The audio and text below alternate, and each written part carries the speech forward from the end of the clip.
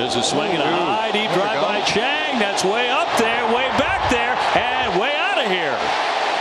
And the Red Sox need some more like that. That'll make it a 6-3 game. Yu Chang with a blast. His sixth. I don't think he's watched too much of Yu Chang. If you throw him a fastball right there, he's going to hammer it. Good swing. Nice catch. Blue Jay fan caught that, but the Red Sox get the